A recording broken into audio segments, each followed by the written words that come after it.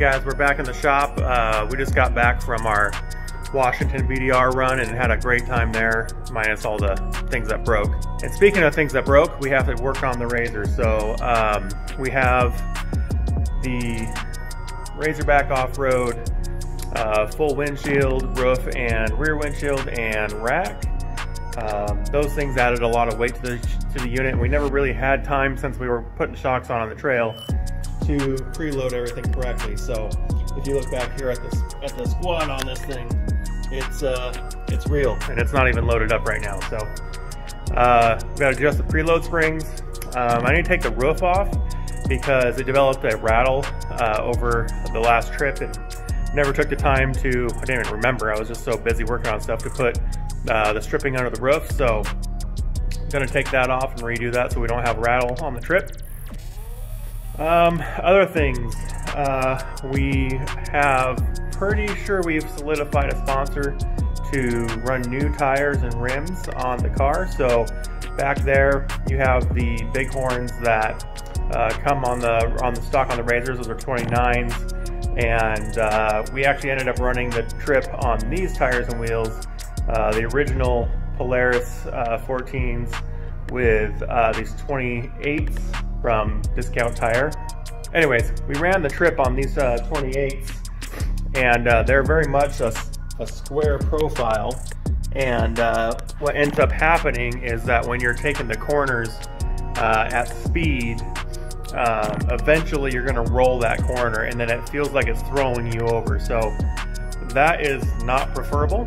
Uh, it's uncomfortable. So we can't wait to bring our new partner on board and we're excited to tell you guys about that uh, probably next week. So just a little bit of a follow up on the Razorback setup. This cage was perfect. Um, kept everything inside, having the tanks on the sides and wherever you wanted to mount different things uh, came really handy and worked out really well.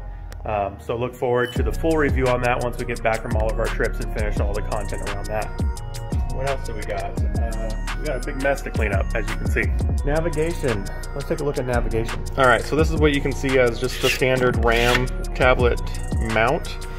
Uh, this is secured by way of a, an arm back here. So you can see how that mounts there. So this is the longer arm and the one inch ball. And uh, this is actually mounted to the T-bar mount on the RZR. So let me take this all the way off. And what you can see here is actually um, a product from Tech 208. So this is an American made product out of uh, Idaho. And as you can see uh, back here, I'm using the stock pin that comes on the T-bar mount and that holds it on. And then there's this little adjustment here to create uh, friction on the actual T-bar so you can make adjustments. You have to take the pin out to move it in and out. But this will actually give you a tightness adjustment to um, take the rattle out of the bar. But you can see that it has a one inch RAM ball on the end of it and there's two different versions of this. There's a short stubby and a long one. And the long one's really kind of meant for the 2019 body refresh on the Polaris RZRs to get over the dash changes. So on this older style, the 16, um, this doesn't really stick out too far on the dash and you don't really need the longer ball, but I found that having it out further was really helpful. So, um, so basically you can run your T-bar in here and still have the passenger have a grab handle. Uh, I chose to take it off for our trip. So once you get the ram arm on there, you can position this thing wherever you want. Now, one thing I did notice um, is that you're kind of limited to the ram design um, on these, these cuts here. So you can only angle the arm based off of those angles. But for the most part, you're able to move this all around and make it fit your needs. Um, being down low, you know, and, and over here by the driver's side, you are blocking, you know, your right hand side switches. But uh, if you use just switches that you don't use often, like reverse lights, cab light, cabin lights, um, things like that, you basically just turn them on and you're not turning them on and off all the time. But uh, the Tech 208 mount was perfect, and I, I didn't put the T-bar in because I wanted all the space accessible for storage. So um, yeah, uh, more in-depth review coming on that. Check check them out at Tech 208, and uh, it's been working good for for us so far. Looking forward to finalizing that long-term review on the Idaho BDR. All right, so this is the new battery for the turbo, and this is a full throttle FT560L, and this is a direct AGM battery replacement for multiple machines, including the Polaris RZR Turbo. You got a 44 amp hour battery, and uh, that's going to be considerably more than your Polaris stock OEM battery. Um, these have tons of cranking, uh, these have tons of longevity. They uh, will hold their ability to recharge a lot longer than any other brand and it's a great solution for these off-road rigs because it's a sealed system you can mount it upright you can mount it sideways upside down however you feel the need and because it has the M8 hardware they include the standard posts so you can install those and clamp right into your system or you can do the M8 hardware and make custom uh, fabrication stuff for your whole rig so that's going in we're going to do a full dual battery setup tutorial video scenario thing later. But for this trip, we're just wanting to get a more reliable battery in the car, have more amp hour to draw off of for our accessories, and uh, we'll come back after that trip. We'll clean the car out. We'll do a full dual battery setup with isolator and bus bar and all that and kind of go through those details with everybody.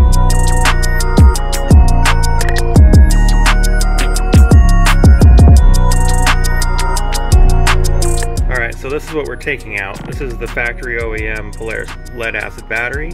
Um, as you can see, we've had to do some trail fixes here with the terminal.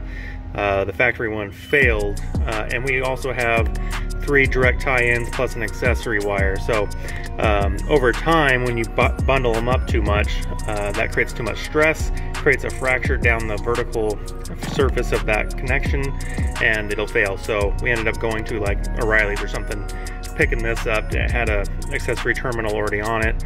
Uh, this is all coming out. Uh, for this trip, we're gonna leave the wiring as it is, but replace the battery. When we get back, we're gonna take this, clean this all up, put bus bars and an isolator in, and hopefully a second battery over here. So uh, don't kill us. We know this is not perfect. We're going to fix it. We're going to take you along for the ride. Uh, but for now, we're just getting rid of this lead acid piece of crap.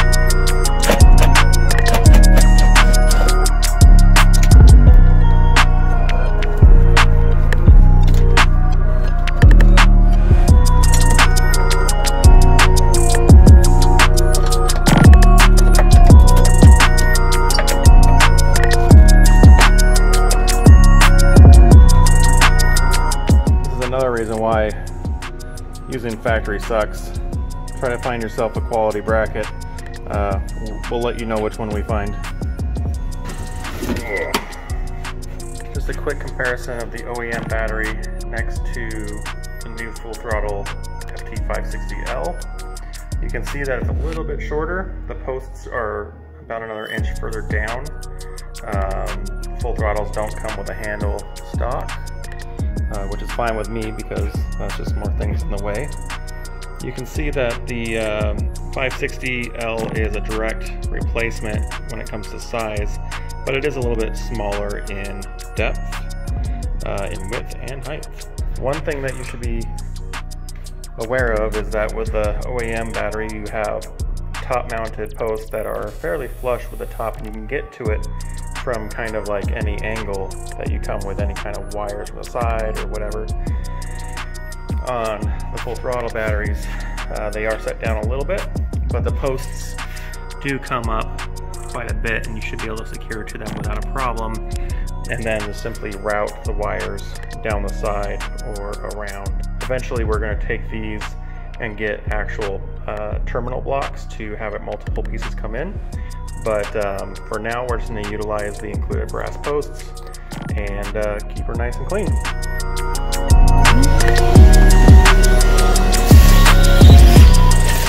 Alright, so you can see I got the battery in there.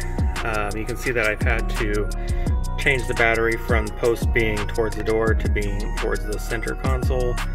And I had to then thus flip the positive and negative wires, but they all tucked in nice and neat. There is a lot of space given around the full throttle battery once you take the OEM battery out. The OEM battery fills in that gap a little bit more. So you are going to be saving a little bit of space that way. The bracket is too tall for this battery. So if I put the bracket in here, it's not gonna do any good because the battery can still move around. So I may tuck some foam in here and keep that from vibrating too much, but honestly with how heavy a battery is and how tight the compartment is with the foam on the corners, it ain't gonna move with the wires connected and all that. So we'll just leave it there as it is for now. And then when we get back and are ready to dig into finishing the wiring on this machine, we'll bring you back along for the ride of pulling this all out again, cleaning up the wire mess, and uh, making this thing top notch. All right, so we uh, didn't really cover it a whole lot, but we put a fuse and relay box in this turbo and we did a whole bunch of wiring back underneath the hood, uh, underneath the dash to facilitate six channels of switched power. Um, but during the process, we broke the terminal off of the Polaris bus bar. After four years, the, uh, the primary terminal decided to quit, and you can see that mm, we may have had an arc or two over the years. But uh, we put a temporary bus bar in to manage that power. Uh, but we also just picked up a OEM replacement. So this will be going back into there. That'll be coming out. That main power lead will go back to the bus bar. And then we'll clean up this little blue wire that's making it all work. So this is the fuse relay box that we made for the last trip. And then all the wiring is done just behind the wall here. And then all the wires are then bundled and through the firewall out into under the dash and then everything is bus barred from there. But just wanted to show you what we did there. And you can see we got our rock lights, rock lights on there, our front cubes on there, side cubes, light bar, rear cubes, whips, and uh, we have it wired in a one, two, three, four, five, six fashion. And up here on top, because the way it wires, we have it uh, wired one, two, three, four, five, six.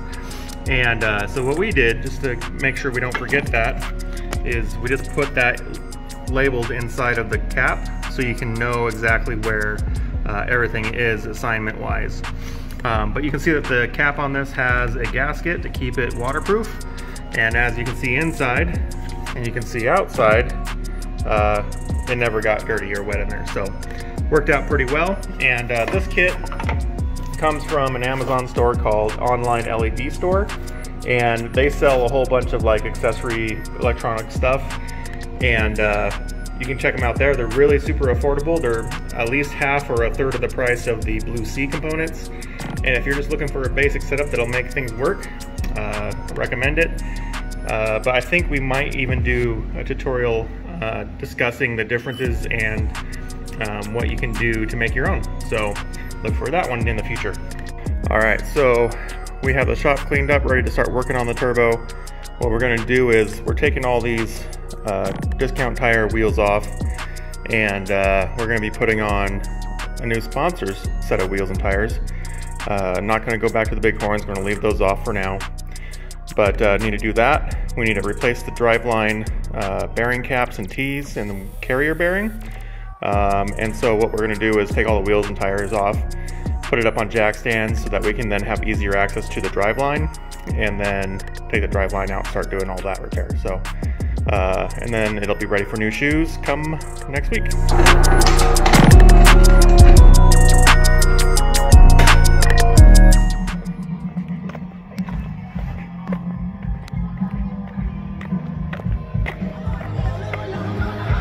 What's going on here? What? What's going on?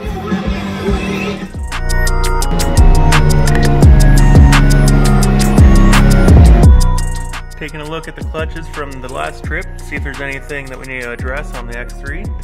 Belt looks decent, but I don't see anything wrong there. And you know, the sheaves, we'll see how dirty they are, but a little bit of dust in there. Plus the, uh, the car just feels slow and sluggish right now, so figured we check the belt. Yeah, it's always good to check it after a big ride anyway, so. Get in there.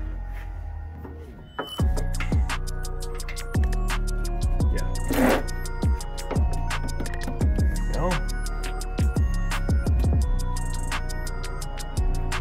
Well, I've seen worse. A little milky. Doesn't smell the best. No, that stuff never does. Yep. What's going on, Ian? So, some idiot at Can-Am decided to torque my oil drain plug to probably about 110 foot-pounds, somewhere in there. And in the process of getting it to pop loose, my little, there's a reason there's a bunch of paper towels here, because we use a paper towel, uh, cardboard center. Funnel? My mom calls them a dut-dut because you can make horn noises and stuff through it. Uh, it slipped out, and now I get to go from here to go get a whole bunch of contact cleaner and spray all over the uh, the uh, skid plate and all that kind of stuff and clean this thing out. I think I got some brake clean we can use. Yeah, I don't want to pollute your environment. I'll pollute, pollute my environment. So. so here is uh, here's after 600 to 700 miles. I think we're at 700. I don't see a lot in the way of metal in there. Looks pretty good. Not too bad. Yeah, it looks pretty good. Now Pretty- that's only one of two, right? uh, well, we have another one, but it doesn't have a magnet on it. Oh, so that's on the front side. Yeah. So I'm Yeah, happy with that. not too bad. Yeah, not too bad. So I didn't I didn't buy an oil change kit. I made an oil change kit, and as you can see right here, we got our extra drain plug washer.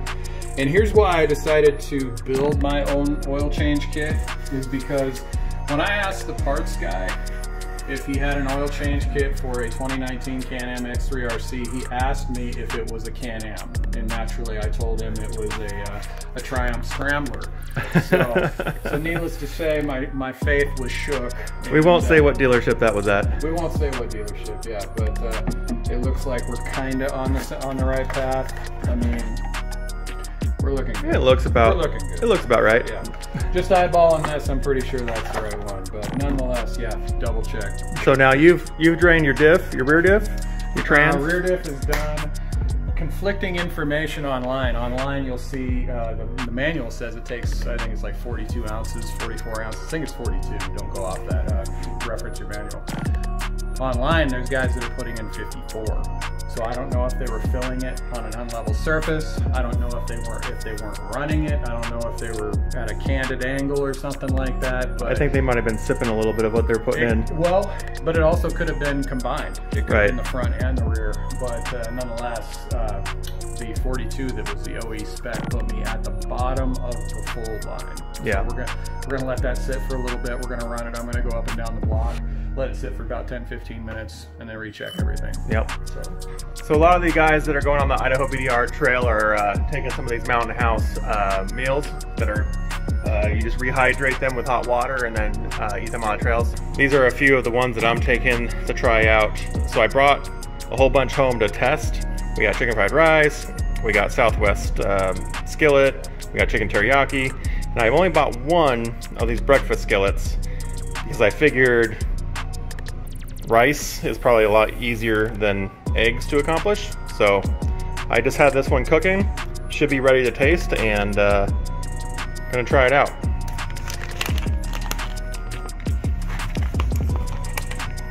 It's uh, still a little bit watery, but smells good. Take our first bite.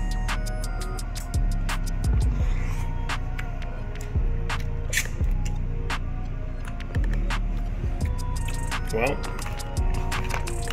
doesn't taste horrible. It's got sausage, some egg, some potato. It's not the worst thing I've put in my mouth. I've put worse things in my mouth before. Let's see what you think. Does smell good. It looks good. See how it tastes.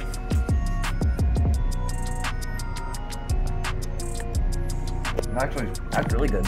Not too bad? Not at all. Would you be upset if that was what you were eating camping? I would be upset if it was gone while I'm camping.